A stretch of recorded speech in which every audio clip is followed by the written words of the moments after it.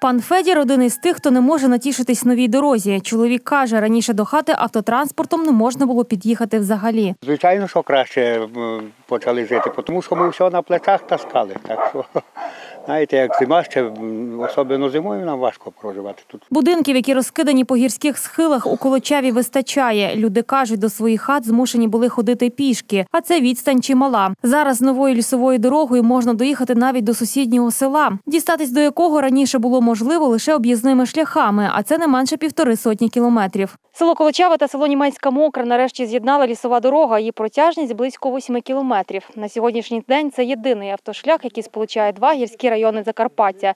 Тячівський та Міжгірський збудували дорогу за якихось чотири місяці. Робили її лісові господарства. Свою частку вніс і національний природний парк Синевір та Колочавська сільрада. Вони будували з їхньої сторони, ми будували з нашої сторони. З нашої сторони приблизно 3,5 кілометра до перевалу, з їхньої сторони приблизно 4 кілометра. Перед початком будівництва фахівці провели в горах геодезичну зйомку, вивчили територіальні особливості, після чого розробили необхідний проект. І лише після цього почали роботи. Вона була повністю знищена. Побудована вона була років 30 назад ще колгоспом. От, е, ну, знищили її, як кажуть, е, з тої сторони в нас заборонені рубки, от, а з тої сторони люди купували піломатеріали, перевозили ліс, і мені здається, що так воно і знищилась ця дорога. Ну, основна причина цього. Друга причина це дощі.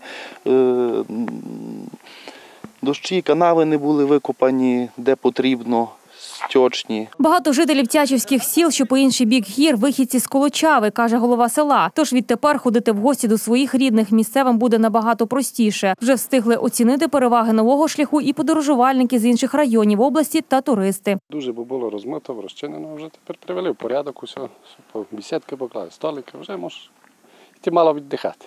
Ми їздили е, з дружиною туди на Ущорну, на німецькому округ, через перевал, через прислоп. Ви знаєте, дорога пристойна, е, можна їхати. Е, Що цікаво, тепер сполучення між Колочавою та німецькою мокрою є, тому що багато родичів людей живуть у тому селі. Ну і також це цікаво для туризму, адже в Колочаві багато чого цікавого є. Люди приїжджають, і тепер люди їдуть із цієї сторони. Тобто Колочава не стала таким тупіком з цієї сторони, з цієї сторони дороги. Тутешні переконані, відновлена дорога дасть черговий поштовх для розвитку туризму в краї, дозволить розвиватись і економіці. А головне, цей лісовий автошлях значно полегшить життя місцевих жителів.